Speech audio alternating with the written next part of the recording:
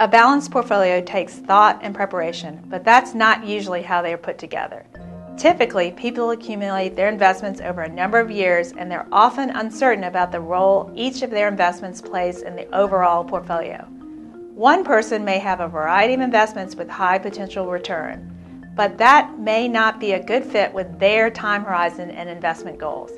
Another person may hold more conservative investments in their portfolio, and we may need to emphasize potential growth. We ask a lot of questions when we start working with someone because we want to help them get a better understanding about their money. Most people find it helpful to step back and take a new look at their investments with our help.